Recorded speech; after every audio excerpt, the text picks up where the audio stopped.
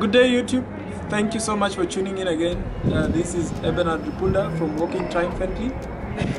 I'm going to show you a video now of a presentation I did at Lithon Foundation talking about our organization and how we started it. So please um, just enjoy it. If you do like the video, uh, please like it, subscribe, and share. Thank you so much.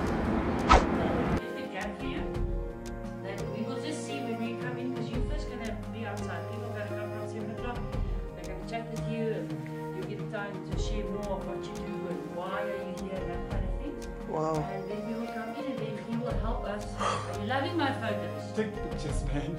Yes. You're taking. And then we will just see, even up with you, if we can, um, then we will maybe just move these two work, she, um,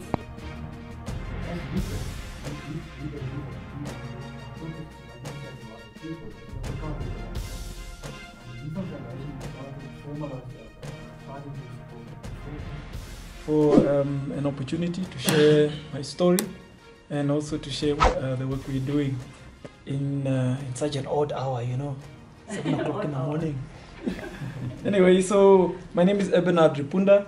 Um, why I'm involved in why I got involved with uh, this on, it was on, the- on the 24th, 24th, 25th of December, uh, 2007, when I was involved in a car accident. Um, broke my neck, fractured my spine, and uh, my whole life changed. Uh, woke up in the hospital. The doctors came to me, told me, uh, "You will never walk again. Probably you'll never be the same person." Uh, up to then, I think uh, uh, the injury had was so severe, I could I could only move my shoulders. So the questions, the depression, the you know I, I, I up to then I wondered why haven't we heard about this as much as we heard about AIDS, because this is worse than the AIDS. You know, AIDS takes takes your life, but this thing you you get to live in your body, but you can't control it. So um, uh, so so I was introduced to this new world um, of, uh, questions of you know as a young man, can can I can I uh, live life again? Can I am I able to socially um, engage uh, with people with, with, you know with, with other people? Am I, am I able to marry? Will any woman be interested in me? Those were those the questions that were in my mind. Not even those were small questions, but they were personal. Questions of accessibility to wheelchairs, accessibility to the help I'm going to need, the aid I'm going to need because of this new uh, inability. So these this this these questions, these things are what I was introduced to. So throughout the years, uh, after um, that, I was involved. In, uh, I got into rehab, physiotherapy, occupational therapies, all kinds of therapy. Uh, with Central Hospital, they used to have what, uh, because of the need for therapy that is so much. Uh, they, they would they would do a bulk therapy, where they would have a seminar and call all their patients to come, and then they do like a weekend of just advice and teaching, teaching about bed sores, exercising, you know, just a whole like um, um, uh, uh, uh, uh, um, a way to just cover them and, and give them support so that they can go and just try and, and live uh, a better lives. So through that, we would raise issues in this.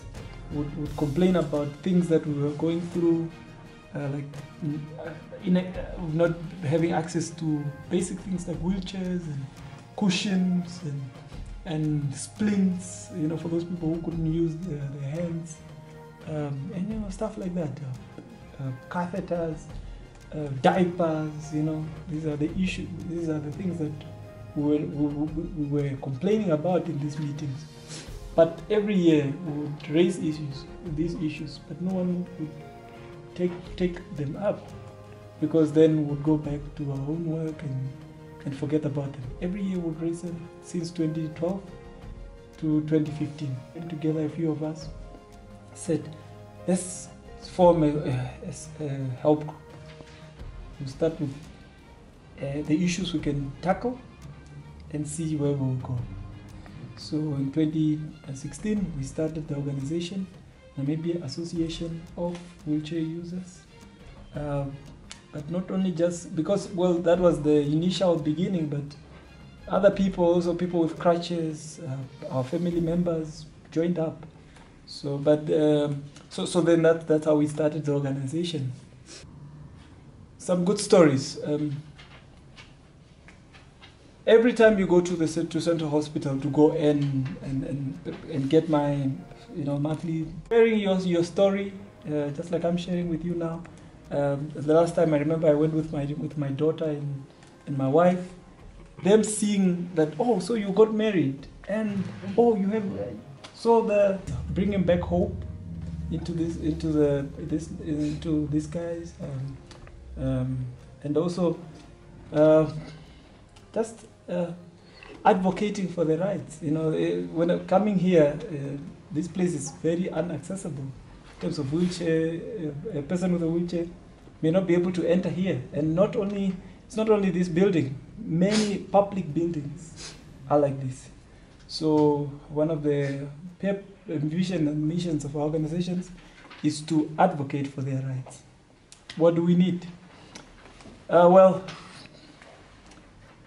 we have an office at the Kutukuriangaba.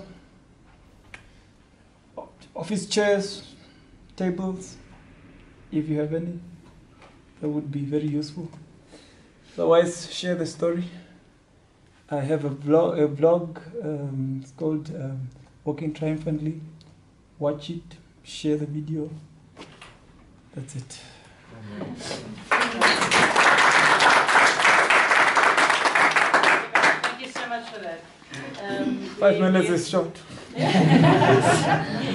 But you know what we're going to do to these people? We tell them, um, leave and go to work, and then they will stay behind and ask more questions. Yeah. That's awesome. okay.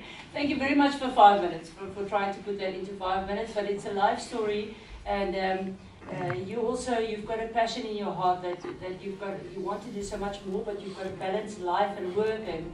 Getting a mentor there to help you as well. How do we do that? How do we take the road forward? Because it's also difficult, Monica. You know, with the organizations, keep it going. You keep going you go through a dump and, and, and people get busy and they don't get involved anymore. So